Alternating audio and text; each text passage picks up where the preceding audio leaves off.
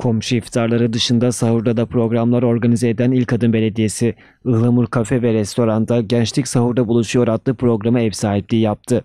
Programa Gençlik ve Spor Bakanı Akif Çağatay Kılıç, AK Parti Samsun Milletvekilleri Fuat Köktaş ve Orhan Kırcalı, İlk Adım Belediye Başkanı Erdoğan Tok, AK Parti İl Başkanı Muharrem Göksel ve Canik Gençlik Kolları yönetimi katıldı.